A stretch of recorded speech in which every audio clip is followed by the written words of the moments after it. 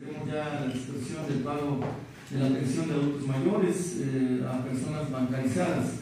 Estaremos este, ya dispersando a través del Banco del Bienestar, como ustedes saben que pues, ya se inició el proceso de la bancarización y eh, ya tenemos funcionando 34 bancos del bienestar.